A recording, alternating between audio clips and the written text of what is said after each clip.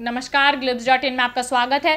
Commonwealth games से पहले टखने में मौत से परेशान पीवी सिंधु को उम्मीद है कि वह बैडमिंटन की व्यक्तिगत स्पर्धाएँ शुरू होने तक फिट हो जाएँगी और उन्हें पूरा विश्वास है कि भारत इन खेलों में कई पदक जीतने में सफल रहेगा।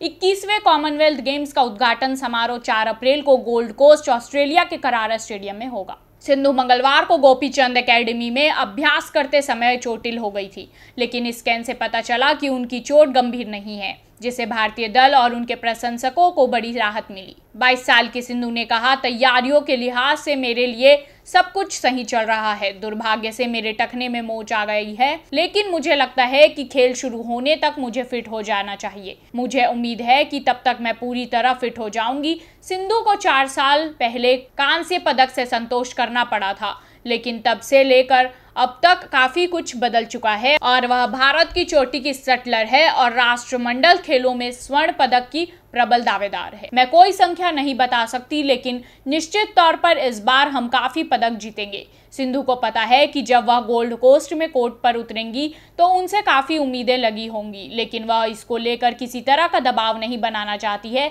उन्होंने राष्ट्रमंडल खेलों में संभावना के बारे में कहा, जिम्मेदारियाँ बहुत अधिक है और हर कोई चाहता है कि मैं जीत दर्ज करूँ। मुझे अपना सर्वश्रेष्ठ खेल खेलना होगा और अपना खेल खेलना होगा तो फिर स्वतः आपके अनुकूल होंगे। For more information, log on to www.clips.in.